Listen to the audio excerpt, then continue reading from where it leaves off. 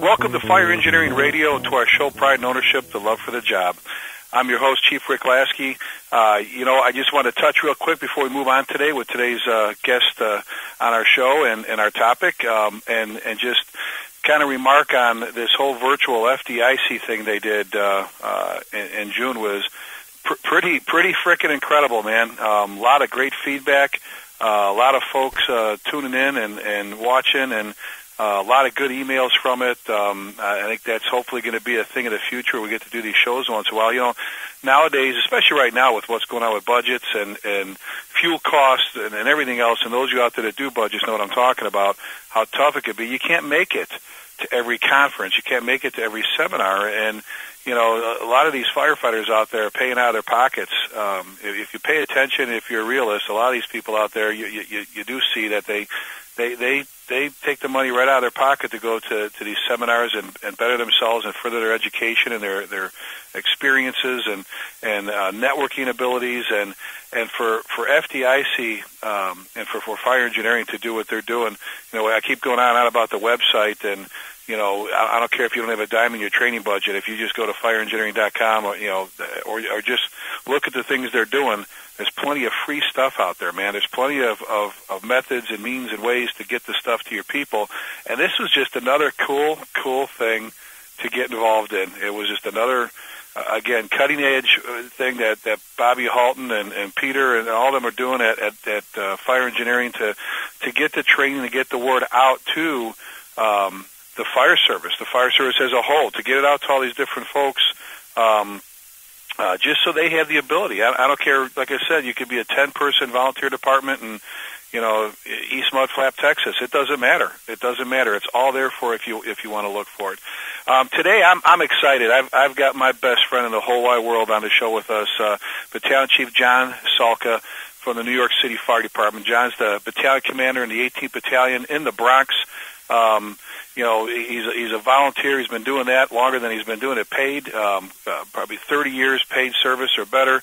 Um, John's all over the world, not just this country, all over the world, lecturing on a variety of topics. Uh, we're going to talk about a couple of those things today, but um, I, I'm just excited. Uh, I've been trying to get John on the show, and as, as busy as he is, it's hard to nail him down once in a while. But uh, John, welcome, buddy.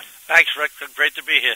Uh, I'm just, you know, and and you know, you and I, and, and I tell everybody when we and one of the lead-ins, John, that I do when when and you've been there when I do it when when you and I teach together, or whether we can't make it, is is how you know, and I want to touch back on some different things and, and the impacts that you've had on the fire service throughout your career. But you know, I tell people that when Get Out Alive and Saving Our Own started, when we started that years ago, I mean, um, we, we thought we were going to have an impact on on the lives of the firefighters out there, and, and, and we did. But I know it was frustrating for you as it was I to see that. Um, uh, you know the numbers. You, you would expect the numbers to go down a little bit, and they weren't. And we've talked about that. And then we went, you know, managing the Mayday and thinking that was going to help, and then back to the basics. And then I tell people all the time, John, what it's like when you and I go travel somewhere and we get around the troops and we hear all some some of the silly things that are going out there, and and some of the things that we get our underwear in a knot over, uh, leadership wise, and, and that you and I tell people all the time that we realize that we're we're losing a lot of firefighters before we ever leave the firehouse. Before that firefighter, you know, became disoriented and ran out of air, somebody wasn't training that firefighter, or they weren't they weren't uh, taking care of business back at a firehouse. Um, I mean. John, just reflect on it a little bit. What do you think's going on? What do we have to do leadership-wise to start taking care of our firefighters better? Well, I mean, a couple of things that you just said. I want to comment first. Uh, number one, that everybody everybody out there is very hungry for information and for training, and for whether it's training on Get Out Alive or Saving Our Own or, or, or leadership that we're doing now. Uh, and, and like you said, we talked about that years ago when we first started those programs, thinking, gee, we'll do it for a year or two, and, and then it'll slow down because it'll be saturated. But but it's never saturated. There's always new people coming into the fire service. There's always a, a fresh new recruit class graduating somewhere, or new new young members uh, in, in a volunteer firehouse that that are looking for the training. They're, they're looking for the education and looking finding out how to do things and how to talk to people and um, and that's just the way it is. So so it's never really going to end. I mean, like you said, we were sort of we sort of thought these these popular programs that we had would sort of go for a couple of years and then and then wear out, but they're not. And I think the same thing's going to happen with leadership. but leadership is a little different because leadership is something that just everybody, almost across the board, is lacking in some degree. I think there's a great there's a great void out there in the fire service. Not tremendous. It's not you know uh, the end of the world type of void, but I certainly think there's lots of places that are in need of some of a of a good new set of leadership skills in their department or their companies. And, and we hear that, as you just said, everywhere we go. You go to a leadership program somewhere, and guys are coming up at you and telling you, you know, my captain did this, my lieutenant did this, or, or lieutenant saying these these firemen did this. I mean, it's not just one way, uh, but certainly a lot of people need need to be uh, pointed in the right direction when it comes to leadership and, and how effective your organization can be. I, Rick, I think you remember when we were at FDIC one year, John Norman was in a room next to us teaching, you know, something about tactics, and and Alan Brunacini was in a room next to us in the other direction teaching about something else, and then we were telling the people in our room, you know what? Don't go to those classes until you come to our class. Learn leadership first, because once you do leadership, guess what? Your tactics gets better. You, you, you, you, you, all the aspects of your fire department, everything that you do is going to work better when you have good leadership skills. Oh, and, and you know, and and that's not definitely not to knock uh, two legends in the fire service. And I, and one of the things I got to I got to talk about is, and, and I'm I don't want to embarrass you at all, but I, I love the fact when we talk about, um, uh, you know, going back in time, you know, it just you know, and I'm here's random man again, just zooming out there, but I could just I'm sitting all the time thinking about picturing what it would have been like to be riding in the back of Rescue Three with you, John Norman, and Jay Jonas as my firefighters if I was a lieutenant. who was you? Who was you lieutenant back then? Actually, Pete Lund, God rest and his soul. Tell, Yep. You know what? Talk, talk eh, Pete as a leader. We're ta- we're talking leadership challenges in the fire service here. Talk about Pete for a second. What, what you know? What stood out about him?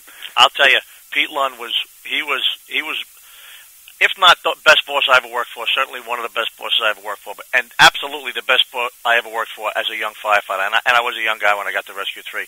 But uh, I remember working with Pete, and Jay and I would work in the same groups, and we'd be working a lot of shifts with Pete, and we would we would almost be on the inside. And, and, and in our language, that's like the good place to be. Inside is the guy with the can and the guy with the iron, so you'd be with the lieutenant, you know, crawling around in the rooms or, or going on whatever assignment we had. And and I remember coming into work nights where I wouldn't know who the lieutenant was going to be. And as I pull up to the Rescue 3 firehouse up there on 181st Street, I would see Pete Lund's uh, Woodmere white Volley Chiefs car sitting out in front of the firehouse.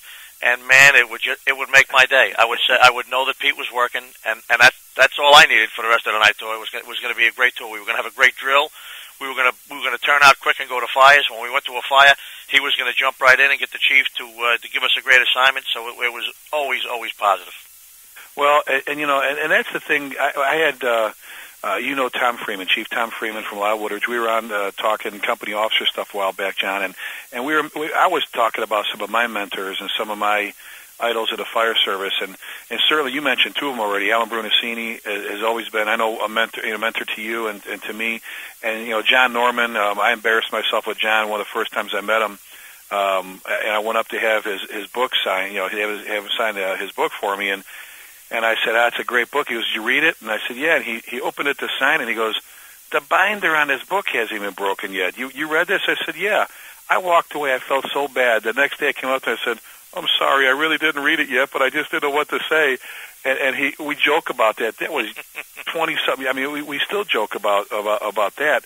But you know, that, when you tell these stories to to the students, and I watch them kind of sit on the edge of their chairs, I, I find it interesting, John, because you know, there's plenty of role models out there. There's plenty of people to go out there and, and say, you know what, I want to be like that guy when I grow up in the fire service. I want to be I mean, the, one of the first FDICs I was walking around with John Norman, he introduced me to Leo Stapleton. He says, when I grow up, he goes, I want to be just like that guy.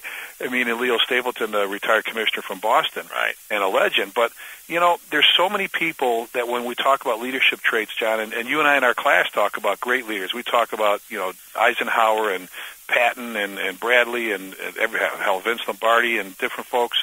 Um, you know, a couple of people that that, that pop into mind, and I, and, I, the reason I'm asking you is because you're intimately involved with some of these folks, and got to you got to grow up in the fire service around them.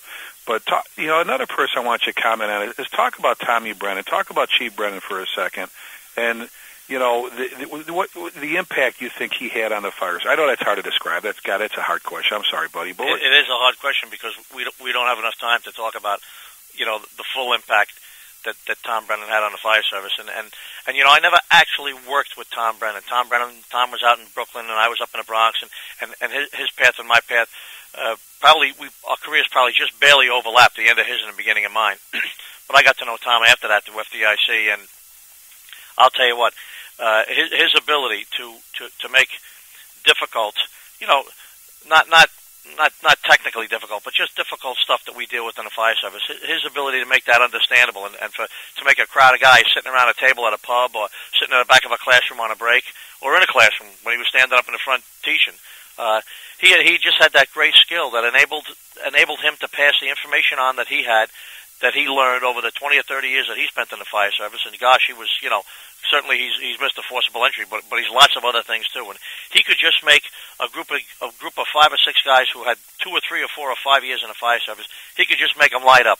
He would just light them up with information. And whether it was reading his his magazine article or going to sit down in one of his classes, or if he was doing a keynote, or certainly when he was out there on the road, he was he was always the most interesting character on stage. I'll tell you, he, he had a way of delivering stuff that that that many of us, myself included, uh, have not yet been able to master. Well, and you know, and you and I again, I've told you how, a umpteen times how he has helped. He helped my career. He's still helping my. I know he's he's passed on. He's he's in a much better place than, than a lot of us, and, and and just doing wonderful things where he's at now.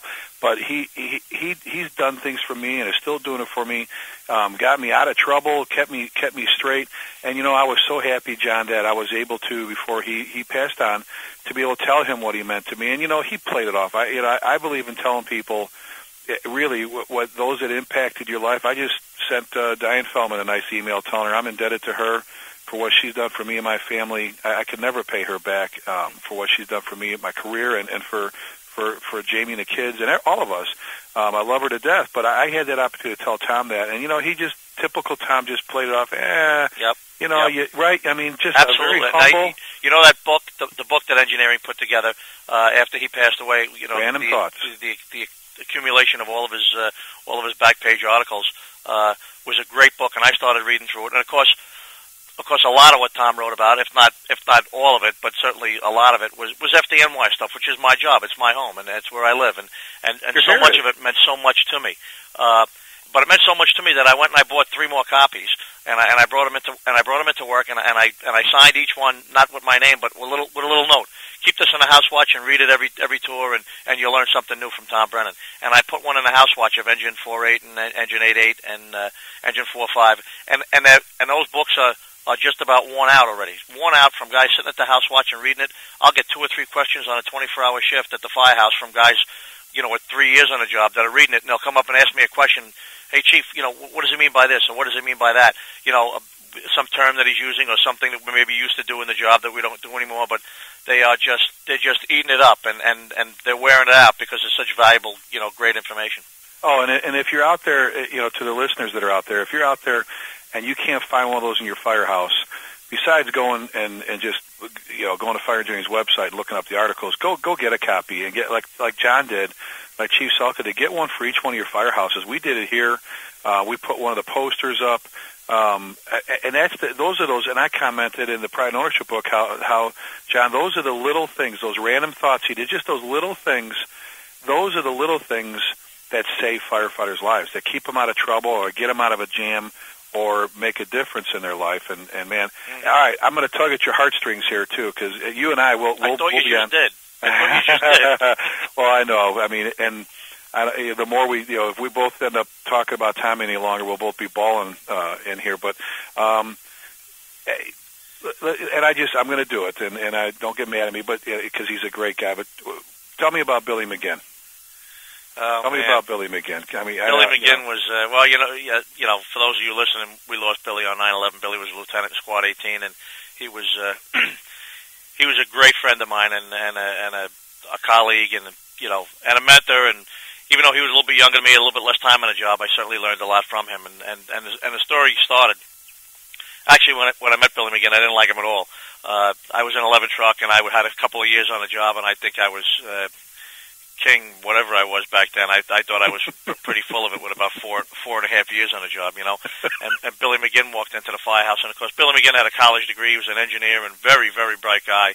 And uh, right off the bat, he came in and, and, and very sharp too. He was very good with the tools and, and with, with, with everything. Uh, and I recognized that right away. And uh, he'd, he'd walk in the kitchen in the morning at 7.30 or 8 o'clock and throw, throw the, you know, a, a thing of donuts on the table and say, how's it going? And I'd say, it'd be going great as soon as you check the rig, Proby. You know, so I was always on top of him, uh, doing this and doing that. And, uh, but actually we ended up after after a couple of uh, discussions and a couple of good fires that we had together, we ended up being very good friends. And uh, I left 11 truck and went on to uh, Rescue 3, and he he left 11 truck and went on to a squad. He ended up being a fireman in Squad 1 with me when I was a lieutenant. And then when I got promoted to captain, I went up to the Bronx, up to 48 engine. He got promoted to lieutenant, and I invited him up there, and he was one of my lieutenants in, in, in engine uh, 48. And then I left 48 when I got promoted to chief and went to the 18th battalion and he eventually left uh, 48 Engine because they opened up all the squads. Ray Downey opened up all those squads uh, back then, and Billy McGinn had squad experience, so he he decided to try for a spot in Squad 18. So we ended up uh, in Squad 18, which actually all of our companies we we were in the same companies. We were in 11, we were in Squad 1, we were in 48 Engine together, and although we weren't together for the next stop, it was still the same number. It was 18. I was in the 18th battalion, and he was Squad 18. Well, and and um, you know, one of the things I know that he just you introducing to him to me as was one of your instructors, and I just know how tight you guys got that.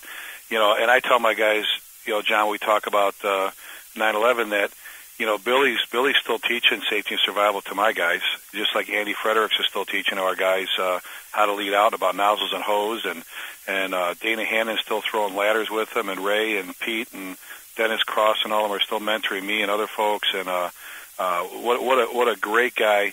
Yeah, you, something happened a few years ago that that I know impacted how you think a little bit, um, especially rebounding as your department did um, from 9/11 with the unbelievable horrific loss, uh, not just in you know wonderful people, but the talent and experience. But you, tell, I, I'd like you to tell folks first of all who's Jason Fry when and when did you meet him, and and what impact did he have on you? What he talked about? Because we talk about him all the time. Yeah, J- Jason's a great guy. Jason's, uh, I guess he's he's probably long retired now from from the Marine Corps. He retired as a major, actually. After uh, yeah, he's, okay. He's, he's I, I met him out in California and uh, uh, at a show somewhere. Actually, I can't remember. He was at, he was at a couple of shows. He sort of he sort of hit the stage and appeared at a couple of different shows, and, and he and he was talking about.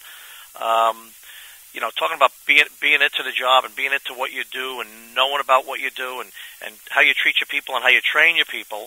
And you know, and he, and he told a great story about being over in Iraq and uh, how he ended up, you know, being in a Humvee with a young 18-year-old Marine who was driving him, who he had actually never met before until about an hour earlier. And before you know it, they're they're in a gully on the side of the road. He's severely wounded, and this young Marine is with him, firing his rifle, telling him, "I'll stay with you, Cap. Don't worry. I'm I'm I'm here with you. I'm not going to leave." And uh, he reassured him several times that, that he wasn't going to go anywhere.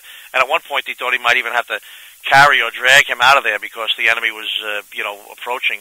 Uh, and, and he was so impressed at the fact that this kid that he had met an hour earlier, who was only 18 years old, probably flipping hamburgers at McDonald's nine months earlier, was telling him that, that he would die with him before he, he would leave him. And of course, then he explained very, you know, emotionally how that that's how we train Marines, and that's what they're taught in boot camp. They're taught the value of of the brotherhood and, and what we mean to each other, and and that we wouldn't leave each other. And and he said that that you folks, meaning us and meaning everybody that's listening, yeah, we, we are just like the Marines in many many ways, and and and, and those couple of ways in particular uh, are the strongest parallels that we have. We, we, we are a very strong brotherhood, and, and we live and work with each other, and sometimes, unfortunately, you know, get hurt and die with each other. But that's what makes the uh, the fire service strong, and, and and it's the responsibility of of the leaders, the young lieutenants and captains and, and battalion chiefs or district chiefs, whatever the rank structure you may have.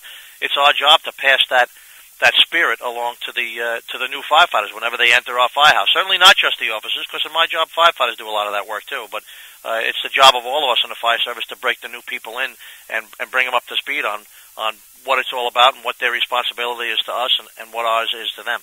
And John, besides, you know, we know that those of us that know Jason, you're you're right. He's an incredible, incredible person. What a great speaker. You know, he lost his his right arm in Operation Iraqi Freedom, um, and just had, a, had an incredible leadership story to tell, uh, team building. I don't care what you want to call it, but when he taught, he described training to you on how, how they train in the Marine Corps, and you paralleled it to what we do and what we need to do in the fire service. Um, you know, about how you know, the, the talk, talk for a minute about the whole realistic hard training thing that he talked about, about how how they train Marines and how and and then how you think we should train our firefighters. Well, I mean, I think we've, in addition to he he we have been saying this, and, and Tom Brennan has been saying this, and Vinny Dunn has been saying this, and all sorts of people around the fire service have been, you know, certainly the leaders and the teachers and the people that are out there, you know, writing the articles for the magazines and stuff have been saying for years, and we and we're not all doing it, that we need to make training, you know, realistic and effective and and and, and practical, and and you know, I am not in any shape, way, shape, or form uh, knocking any type of training on on you know. Um, weapons of mass destruction and, and terrorism and all the things that we have to do to protect ourselves from. Of course, that, that, that is, those are important new things that we need to all know about. But, but it seems when something new comes up in the fire service, everybody has to do, you know, 10 of those classes for 10 years. It's just like everybody grasps onto the newest thing, and sometimes they just let some of the important, solid things that we still need to do and pay attention to that we do every day, sometimes they let those things slide away a little bit. So I, I reiterate that a lot of my classes, that you should be, you should be training on the stuff that you do most that you spend most of your time doing, that you spend most of your runs going out on, and and then uh, like some of our other friends out there say, and then some of the other stuff you should be training on is the, is the is the stuff that's high hazard and low frequency stuff, the stuff that you don't do too much, but when you do do it, it's going to be a pretty unsafe or pretty dangerous situation. We need to train on those things as well, along with the new tactics and the new terrorism concepts and all that. That's that's all important stuff that's got to be looked at. But I hate I hate people to forget the basics, and I hate the term back to basics because it's been used and used and abused and overused, but but it, but it's true. You know, some of those basic concepts that every firehouse and every firefighter need to know, whether you're in a two station or a two rig volunteer firehouse and you know a single station, or whether you're in a, a 30 station municipal department somewhere else. There's just some basic skills that we all we all have to know, and we all have to have down pretty good. Well, and our our buddy uh, buddy and idol Leo Stapleton said it. I remember back in the first year that FDIC or fire engineering had FDIC, I was um, getting a, a little deal um, uh, given to me for the Saving Our Own program, and he got up before, and that's the year with the Back to the Basics theme, John. And if you remember, he he stood up there and he said, "I noticed that this year's theme is Back to the Basics." He says, uh, "Back to the basics." He goes, "Why did we leave them in the first place? We're not that good." And that's exactly what you just said. Is is is you know, we're, we're not as good as we think we are at search and some of the other things that we're doing. I mean, you see it, and Tommy Shervino, our buddy and one of our fellow instructors, it just infuriates him because he says, I get firefighters of 20 years that come through our, our, our safety and survival class at FDIC, and they don't know how to search. They don't know the basic concepts of search. Right. They, they don't know how to search. And, and I'm going to throw that at you right now. Uh, let's put Chief John Salka on the spot here. Biggest, biggest challenge facing firefighters and keeping them alive. And you've talked about this in a couple different areas. What, what does John Salka think our biggest challenge is right now to on the fire ground? Let's deal just with the fire ground stuff. Mm-hmm. With, with with training, what would you train a firefighter in to, to give him the best or her the best chance of survival on the fire ground? Well, I, I think there's two skills or two sets of skills that are, that are that are lacking out there. Um, one of them is um, orientation mm-hmm. fire ground orientation. That's one of my specialties, so of course that's one of the things that I think is important. And, and let me just say, John, real quick, that class that you do is the always, always the most popular. Young, old, it doesn't matter. That is one of the most challenging. It's one of the most fun, but it's one of the most. I, I watch guys go through that class, John, with you, and they come out and they're so mad at themselves. They they want to go back through it like right now. You know, right. that is an incredible right. program. Absolutely, and, and room orientation is a very unique program. It's not really taught in lots of places. We sort of put a we sort of put a a spin on it, and not a spin, I because that's a you know not a political word, but but it does have a little bit of a spin on it that it, it's new information. It's just it's just stuff that guys have not really thought about before. It's a, it's a couple of unique concepts that really help you uh, know where you are, and that's what room orientation is all about. And and if you look at the NFPA statistics or anybody else's at the end of the year, firefighter fatalities and injuries. Lots of firefighters die from lots of physical different reasons, heart attacks and, and crushing injuries and thermal burns but a lot of those guys get lost first. So, mm-hmm. so firefighters being lost is a tremendous um, negative impact on firefighter survival and safety. Yet, a lot of firefighters are not paying attention to knowing where they are. They're paying attention to search, and as you just said a few minutes ago, search is vitally important, and there's some specific tactics and skills you have to have. But you also have to be doing at the same moment at the same moment. They're two parallel skills. You got to be paying attention to where you are and keeping yourself oriented. So, so that's one, and I and I could talk all day about orientation. But you know, me and my crew, and we, we do a lot of that, uh, a lot of that room orientation all over the country, and it's very popular. So that's the one skill that I think uh, firefighters on the fireground need to put some more time into.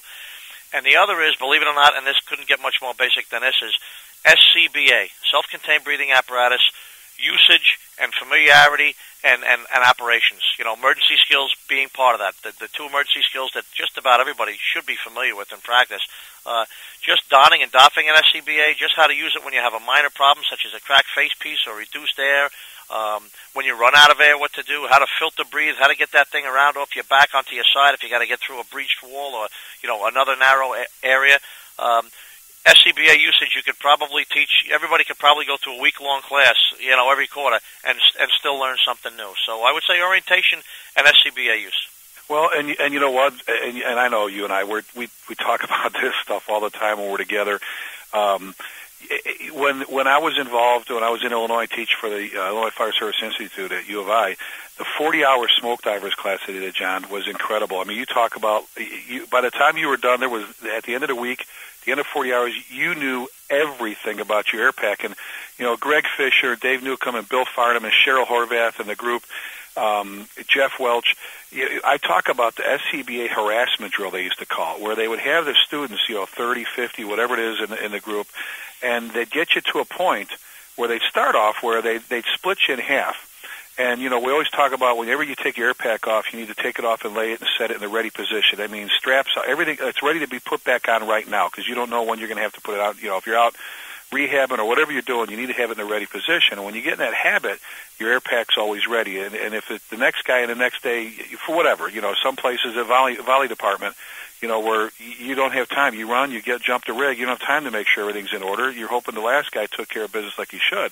And John, what they would do is they would take the students, split them in half, and line them up behind each other, two lines. And they tell the first group, turn around with your backs to the other students. And, and each student had another student. You would have to walk up to their air pack, which is laying behind them, and do a minimum of three things to it. Not break it, but disconnect, reconnect, do things, tangle, whatever, tie. And then they would say go, and you had to turn around, and they would time you on how long it would take to put your air pack and, and don it properly, no air blowing out, no nothing, no problems. And it, it, you know they call it the harassment drill. And you, yeah, at first you think, oh, they're screwing with me. By the end of the week, if you're always used to putting your pack in a ready position, there was nothing, John, you could do to these students that they turn around and go, oh, that's it? That's all you can do to me? You could do 10 things at air pack. They would boom, boom, boom, boom, boom, get it all hooked up, get all back right, don it without any air leak, without any air blowing, and, and do it fast. Yep.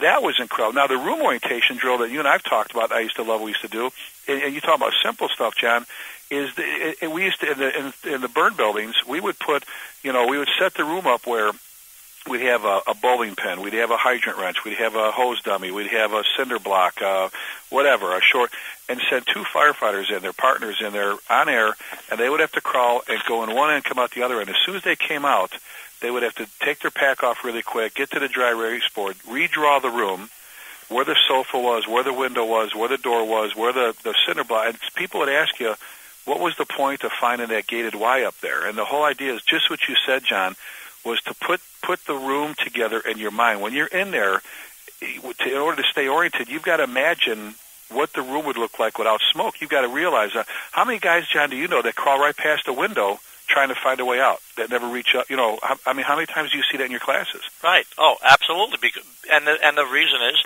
they lack those skills. And, and we did the same thing when I was a state instructor in New York State here. We used to teach the uh, a, a mask confidence course, and, and part of it was you go into a room, and of course the instructors would set the room up uh, with a garbage can cover and a roll of toilet paper and, and a football and stuff that had absolutely nothing to do with anything, Mhm. except that you had to realize when you were searching through this thing, thinking you were staying oriented, thinking you were looking for a victim, if you found something, you had to quickly put your mind on that item.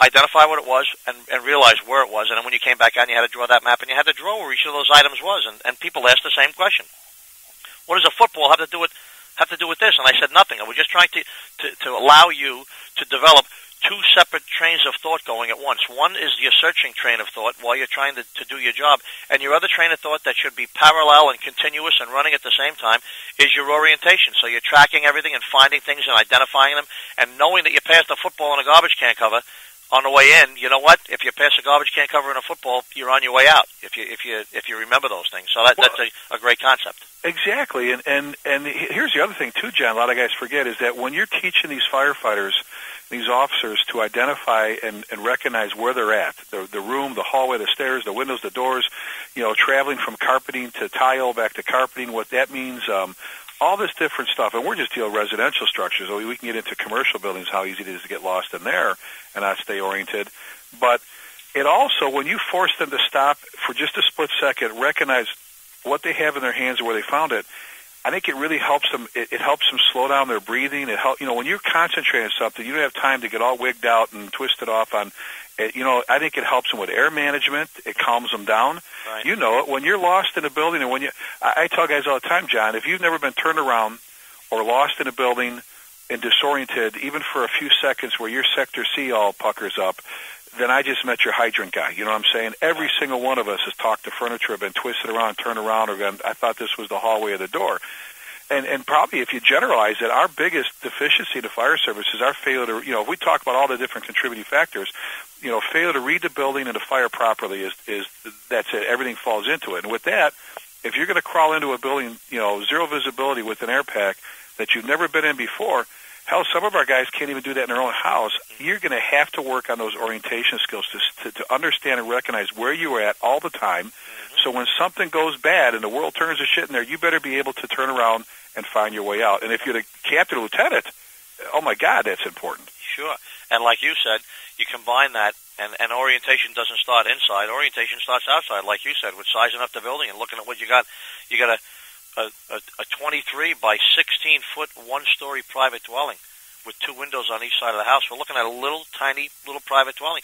Well, you know there are going to be little tiny rooms in there too. I mean, if you go to a big gigantic McMansion, you better know there's going to be big gigantic rooms. And when you're in a bedroom, it might feel like a, a gymnasium or something. So, you know, you combine those skills, your outside, you know, interpretation, along with your mapping of the room and your orientation skills inside, and you're you're a long way towards coming out of that place someday. You know.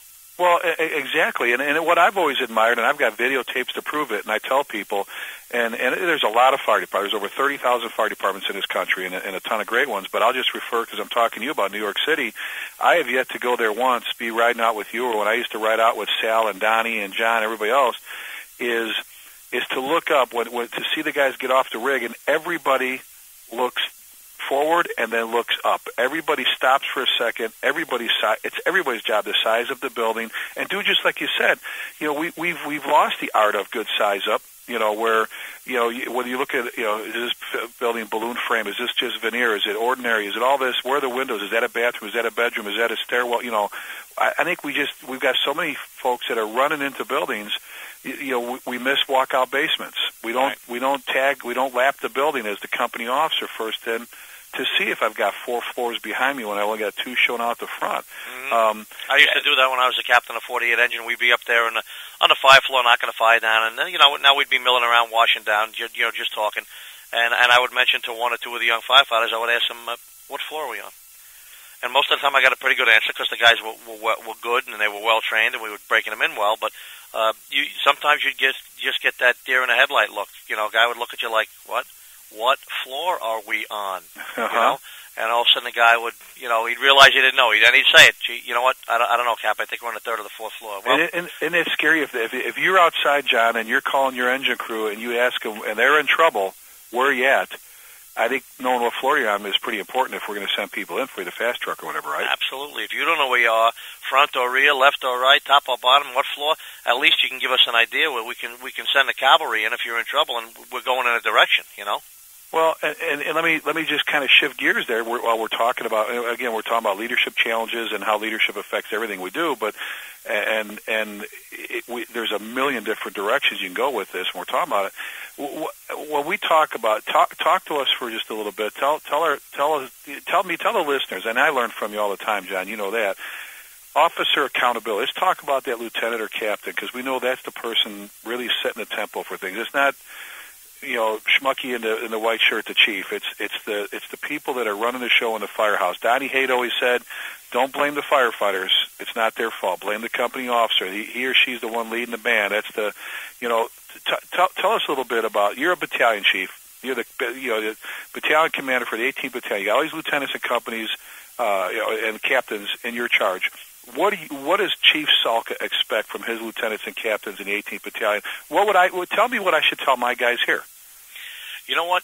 Uh, uh, once again, you're asking a question that we don't have enough time to cover. I expect, I expect, I expect so well, much. You know what? You know? But, but uh, how about this? Can I get you back? I mean, let's talk about that right now. Right. But uh, let's. I want to get you back on again. Oh, and, sure, uh, and we can talk. We can do a whole thing about But- about company officer development. But I'll tell you what: the officers in my battalion, the lieutenants and the captains in, in my battalion, and and and not just in my battalion. Those are the people that I'm that I'm responsible for because they, you know, they belong to me. We belong to each other. We're part of the same uh, unit. But but I run in with other companies that administratively are not under my supervision. But but I run in with them on a regular basis. I see them on every other run or every third run. You know, so officers in general, but my officers in particular, um, they're they're real, they're really responsible.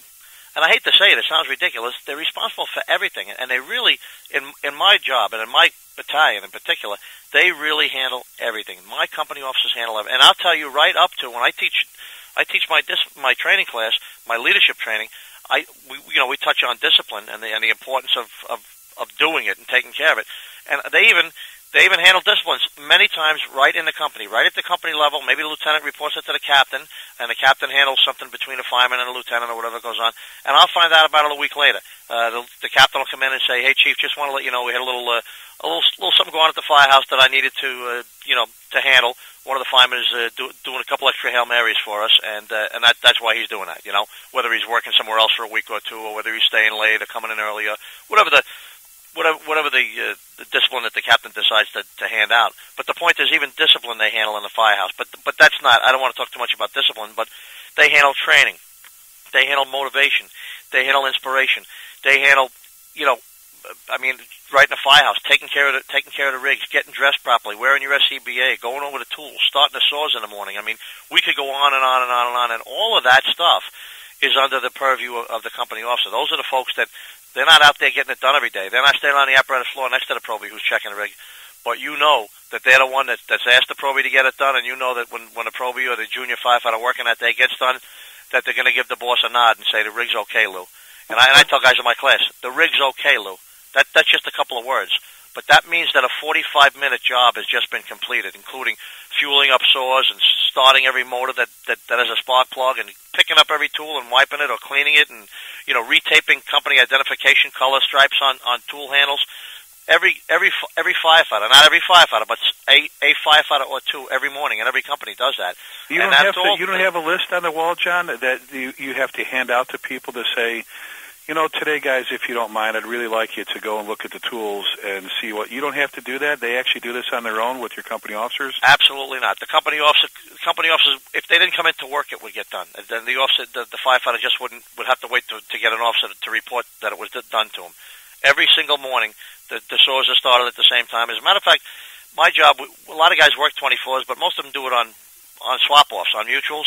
So you're working a day tour and a night tour, and we and we still recognize and we still announce the change of tours, even though maybe everybody that's working the day is going to continue through working the night. But do you know at the change of shifts, the rig is looked at and the and the, and the store is started again, just just like it was at nine o'clock in the morning, even if there's only one new guy coming in. Well, and and again, I was being sarcastic because I've watched your guys work. I've watched, you know, people person for position for position relief. It's not, hey, I've got you, John. Uh, I'll cover being the cam man for a little bit. Wait, no, until no. It's I've watched your guys do face to face, position for position. Um, you know, I'll ask you this question too: Who gets the credit for the bad stuff going on? Who gets the credit for the good stuff going on? Well, that that's that that's got to be written in the Bible somewhere. That's old. That's old information, right? I mean, but but it's very very valid still.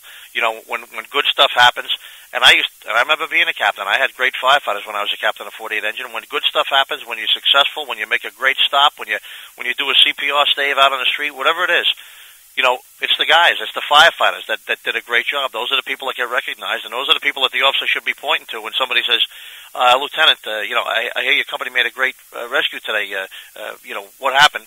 That's what you tell them. Go talk to those guys. They're, they're the ones that did all the great work today. You know, and of course, the other the other side of that coin is is the lesser the less popular one, which is when something goes wrong, you know, it's your fault. It's the officer's fault. Don't ever blame a fireman or his lack of skills or, or time on the job or anything like that on, on a company's inability to, to maybe get a job done. You just have to you just have to eat it. You're the company officer. You have to eat any criticism and say, you know what, I take responsibility. If we didn't get something done, it's our fault. We'll look into it and try and you know brush up on that or get that done better next time. You know. And and I do. I think it's sad, and you've seen it where sometimes you get some guys, and, and they, I don't think they realize what they're doing sometimes. That they blame their, you know, all these firefighters. They don't care. They don't do, you know. I, I've got a bunch of, a couple of, sl- and, and and it goes back to what are you doing as lieutenant or captain to to take care of those folks? And I don't care if you have a chief that doesn't support you or not. You can you can still take care of that business. You can still take care of that stuff. Like as well, we our administration. All right, recognize the fact that you may not have the, the support from up above that you need, but but when are you going to do your job as a lieutenant or captain and and show responsibility? You know, and, mm-hmm. and take care of your people. I mean, you hey, know, Rick, I, that, rem- that reminds me of a story uh, uh, years ago. Uh, Bill Moore, uh, he's retired battalion chief now, but uh, he was he was a captain in my study group. One of the guys I studied with up here, along with Jay Jonas and a couple, you know, and a bunch of other great guys. Bill Moore was getting promoted to captain, I believe it was, and uh, and and us, all the other guys in the study group, we we all went down to the promotion. We generally did that. We all went went to, to each other's promotions to support each other and congratulate each other. And I remember going to his promotion, and there was a. Uh, there was an old. It wasn't actually the chief of department, but it was a, an assistant chief at the time. He was acting chief of department, and he got up there and and he was ta- and actually it was in a in a pretty in a pretty difficult time in our job when things were going on. They were closing companies, and there was a lot of mistrust between the administration and the field and things like that. But uh, he got up there and said, "Look, congratulations to all you guys getting promoted to the different ranks." And, and he spoke to each rank, you know, lieutenants that you're the new bosses now, and now the things you used to do, maybe the things you have to supervise. And then he said, "And you captains, you you have a company to run now. You have lieutenants to supervise as well as as well as firefighters, and you know, have your whole company to run." And they said the same thing to the chiefs. You have even a bigger a bigger area, but but similar duties. And he said what I want all you to do is, he said, don't worry too much about what's going on at headquarters. Don't worry too much about what's going on in the job, meaning meaning the big job, the department. He said there's things going on in this job that that are just out of your control. They're out of your purview. Whether we're closing companies, whether we're laying people off. He said I've been around for a long time. I've been here through layoffs, through the fiscal crisis, through all sorts of negative situations. He said, and and what got us through back then is what I'm going to give you the advice to do. And he told them just pay attention to to what you're doing. Pay attention to your groups or your shift or your platoon. If you're a captain, keep your company running smoothly. Keep your firemen happy and well equipped and trained. If you're a battalion chief, keep the things in your battalion running smoothly. Just pay attention to the stuff that that you have your hand on, that you're in control of. Don't put too much time or, or don't have too much anxiety about the other things because you have no control over it. And and I was I was I was livid at the time with that advice. I thought, God, what what what a what a cop out. He's trying to say ignore what's going on at headquarters so they don't have to take any heat over it. But now, 15, 20 years later, I'm, I'm, I realize that that was very, very valid information, and I, and I suggest that everybody do that. I suggest whether you're a lieutenant in Toledo or a captain in San Francisco or wherever it is you are, you know what? Every department has some issues or some things going on that that guys might not be happy about, or the folks that work there might not be happy about just pay attention. If you're a lieutenant and you work with the shift, pay attention to your three or four or five guys and keep them trained and keep them safe. And if you're a captain or a chief, you know, obviously the, the group gets bigger and goes up. But if you if you pay attention to that stuff, keep your little group and your little world operating safely and smoothly and clearly, then then your world's going to be good. You know, and there's somebody else to take care of the, the, the bigger things above you. You know. Well, and, and John, you know, it, it all comes back to this whole leadership thing we've been talking about. Um, you know, and and again, not to not to put you on the spot and everything else, but I mean, you, you know, you, you put a, you put a book out, first in, uh, last out, uh, leadership lessons uh, from the New York Fire Department, and that has had an incredible impact on the fire service and the private sector. I've watched you do programs for for Lockheed Martin and Boeing and and uh, Sandia National Labs and uh, all these different Morgan Stanley and MBNA and and now the NFL teams. You're doing the coaches and some of the teams, but the fire service. I mean, it, it's kind of funny how, and I tell people all the time. I, laugh when I, I watch when folks come up to you. We're teaching together. We're at a show, and they say, "Oh, Chief Salk, I love your book. I loved your management book." And you go, "What? What? What? What?" I didn't write a book on management. I read a book. I wrote a book on on on uh, on leadership. Um, I mean, it, it, everything you've been doing, um, and when we, it all comes back to this whole leadership issue. How, I mean, how how much emphasis do you place on the whole leadership aspect of what we're trying to do? You know, I I don't think you can. I don't think you can measure it. I think uh, leadership is so, you know, entwined and and so much part of everything else that we do. Most of it is invisible. Most company officers are are, are superb leaders. They're they're great leaders. Most chiefs, battalion chiefs, district chiefs, chief of department, whatever they are, most chiefs have some some good leadership skills already under their belt that they learned from mom and dad, or maybe from their first lieutenant that they worked for. So leadership is there, and I think a lot of times it's it's it's invisible or transparent. Uh, when it's missing, suddenly when it's missing, it becomes more obvious. Then a leadership right. issue some sometimes is, is is more important for people to take care of. And everybody everybody can improve. Everybody has areas uh, leadership skills that they probably need a little brushing up on, or maybe some that, that are absent totally. But leadership is involved in everything we do, as you said, and as I've said, and all, all the other folks out there talking about leadership. Uh, it's the it's the core element of everything we do. And, and if you got good leadership skills, all of the other things, all the other tactics or skills or tasks, no matter what it is, those things are going to flow easily and develop more effectively. You're going to have a safer fire department and, and happier people coming into work, you know, which, which all results in positive, uh, positive everything. And is it that? Is it complicated? Is it voodoo? Is leadership? Is being a good leader like something you got to go spend tens of thousands of dollars on to get your skills to where they need to be? Uh, is there a ton of how much of an investment do you have to make in, in being a good leader? Is, is it that much, or is it is, is can anybody just with the right mentoring and the right you know resources and that improve their skills and and become one of those people that people turn to? Well, the only investment you have to make is my book. It's fourteen ninety five. oh, that was shameless, buddy. Actually, let me. Uh, I'll tell Peter right now. I'm I'm scratching that off the list because I had. Let me see. Where, I had that on the list here to, to talk about. But um, but no. See, I mean, and we've talked. That was kind of a, a, you know a question that didn't. You know, it, it just it, it, it, it, it, it costs you nothing. Like like we like you and I talk at every leadership program we we, we present. We say, you know what? Most of your leadership skills are oh, the skills that you learn when you're riding in the back of a fire engine, listening to the captain and the lieutenant talking in the kitchen, or seeing how they operated fires, seeing how they talk to the chief on the phone when he calls up with a with an issue or a problem. And uh, we learn most of our leadership skills during life. We, we, it's not like you got to go to a class. Now, I'm not suggesting that leadership training is invaluable because it is, particularly yeah. in the fire service. Some of the stuff that you're doing, and there are other guys out there as well doing doing some great leadership stuff. Uh, those classes are valuable too, but you know what? You don't have to take a mortgage to, to go to the FDIC and, and sit in on, on you or I or one of the other guys that are teaching, whether it's tactics or leadership. But, but speaking of leadership, yeah, there's some great new, and, and it's growing. There's great new classes out there, and, and it's growing. You got all sorts of people out there coming up with good, effective programs on leadership, and, and they're all pretty unique, and they all talk about some different elements of it you and I, you know, and we talk about, it, you get to a point where you can pick out these folks. You and I sit at our conferences when we're teaching. I tell people all the time, we sit there at break time, and when guys are visiting, and you watch, we, you and I look around the room, and you'll lean over to me and go, it's the captain. That's who. You can tell because you could tell those that have their act together. You could tell those that are gelling. You know, I mean, they sit down as a crew. They sit. They're off duty, and they still kind of where, they, where, right. where you sitting at, captain? I'll go get the coffee for you. No, yep. I got it this time. And you and I have talked about how you can pick out those that are are, are really leading and, and walking the talk, and you can also pick out those that are kind of hovered up in the corner by themselves, and their their crew's kind of fragmented and splintered you, you can see that stuff out there. No, it doesn't take, you know, like you say, a, a, a you know, a loan on your on your mortgage of your house to go out and get this stuff. There's plenty of people out there to, you know what? I'm gonna I'm gonna ask you about two more guys before we get done here, um, and and I mean about leader, Mike Mike Smith. Mike Smith's a friend of ours. He's working with FEMA doing some things.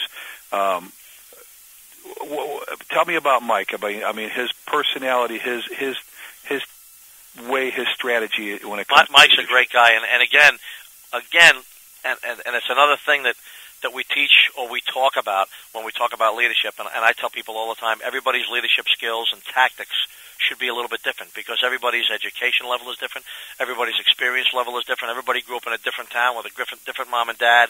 Everybody had a different fourth grade teacher that taught them some early lessons in school. So so everybody's leadership skills and tactics are a little bit different. And and and Mike Smith is a is a glowing example of that. Mike, Mike, you know, I heard some fantastic stories from him when he was a, a, chief, a battalion chief, and deputy chief in in DC Fire Department, and the and the, the challenges and the difficulties that he had, you know, with different people or different situations. Everybody's had those, and how we handle them. The the thing about Mike is Mike's Mike's a little bit older than me. Mike was a, a soldier in Vietnam, and he's a pretty straight shooter, and, and he's a pretty tough guy too. And and he just he just calls him as he sees him. And if you're screwing up, Mike is right next to you, telling you you're screwing up, which is, which is a pretty a pretty good way to run the show. You know, no, nobody can say, "Gee, I didn't realize you weren't happy with the way I was doing things," because he, he's right on top of you if you're not doing it right. However, he's the guy that's also his other hand is always out and offering you assistance. Uh, you know how to get how to get the job done. If you don't know how to do it, ask me. We'll do some training or, or whatever it may be. So, you know, you can be critical. You can be on top of people. You can be a straight shooter like Mike is, but you also have to have a you know you have to have the other side too, and you have to be able to pick people up when they fall down and, and train them if they're not if they're not ready to get a job done, and, and inspire them if they need a little bit of that as well. So, yeah, he's Mike's a uh, Mike's a great pretty unique example of, of how to get the job done. He, he's got that, when we talk about that big brother kind of style leadership, where he can, like you said, he can stand you on your head when you need it, but at the same time, he's going to help you, he's going to lead you, he's going to teach you, he's going to help you with those things. And then the last guy I want to ask you about, there's so many to talk about, but there, you know, there's this, this circle that we run with, and we're talking about leadership examples and demeanors and, and different styles of leadership. Like you said, everybody has something different. Um, and and I know you're going to refer to this guy as a prince, but uh, just for a couple of minutes here, let to talk to uh, explain to our listeners. Uh, tell me about Butchie Cobb. Uh, Butch, Butch is a Butch is a great guy. Butch is a uh, uh, gosh, I think he's got 35 or 36 or something years on, the job now. Deputy chief in uh, in Jersey City. Actually, he just got done uh, being a chief operations and chief of training for a couple of years since he made deputy chief. He's he's worn a couple of different hats. He's been doing a great job over there. I've known Butch for a, a long time. I'm, I'm I'm looking at a picture of him right now in my bookcase. Uh, with actually, book, uh, Butch and Mike Smith and myself. We were at a, at a conference somewhere out in California, and, and the three of us were there. And Butch is just a very, very soft-spoken. Um, easygoing guy that that that's so knowledgeable and and so has such great experience from Jersey City and teaching and and, and other things that that uh, he's he's just a, a, a, vi- a valuable resource of information. You know, when you go to you go to a seminar or something like that and you listen to one of his classes, you, you sort of feel like you're in a room with him by yourself. You know, yeah, like yeah. there's nobody else there. Like he's just talking to you. You know, which is that's a wonderful skill to have, and and and, and I don't have it, but he does have it. And like and and and and the value of that is some when you're sitting in a room and you really do lose everybody else in the room. It's sort of like he's talking to you.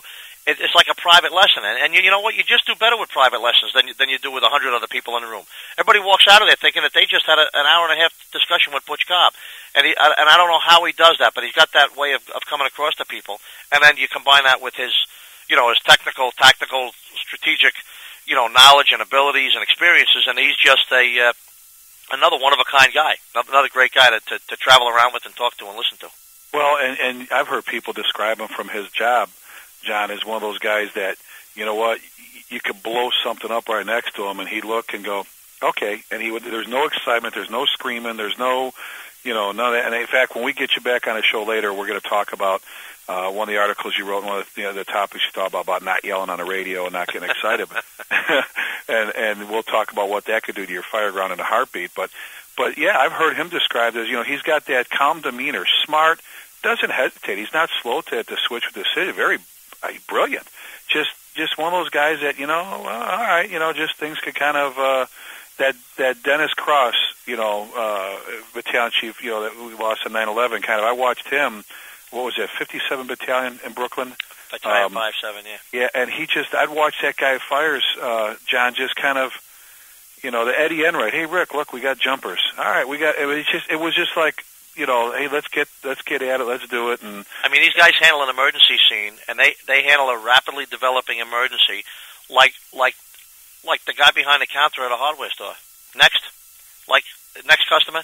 That, that, that's what the next incident is. That's what the next occurrence is. It's just like the next thing. Okay, up, or we'll have to handle that. All right, you know. And and you know what? What a great way to handle rapidly developing emergencies. You know, calmly looking at it, figuring out what you have to get done next. Okay, well, let's do this. Let's do that. Let's reach. Let's pull people out. Let's get some hose lines over there. I guess if that, the fire's extending that way, you know, without the yelling and screaming and the excitement and all the other, uh, you know, all the stuff that goes with That's it. Well, right. hey, buddy, let me as we, we're going to wrap things up here, and we are. We're, I'm, I'm promising everybody out there we're gonna, we're going to definitely get you back on the show a bunch of times because this is we just we just I, I know you well enough. I mean, you're my best friend. We've we just touched the tip of the iceberg when it comes right. to visiting with with Chief Salka. Um, John, uh, for the newest firefighter up to the most senior, what what what what advice would you give? Uh, uh, let's deal. You know what? Let's deal with that new firefighter. What would you tell? What would Chief Salka, if you if you were one on one, if some kid come up to you and he or she said, Chief, all right, I want to be great at this job. I want to do things. What advice would you give me with all your your 30 plus years experience? What would what would you tell me? What advice would you give to a new firefighter? I would tell them now that you're on the job, get into the job. You know, and and getting into the job is a whole different thing. There's some guys that are on the job and they're collecting a paycheck and they're getting on the rig and they're doing their job at every fire and they're coming back and sweeping the floor and doing everything else they're supposed to do, but they're really not into the job. And that that component, that element of of being into the job is what is very valuable in my fire department. I'm sure it's very valuable everywhere. Uh, that's the thing that we hear, you and I, sometimes that, that some places that some people are missing.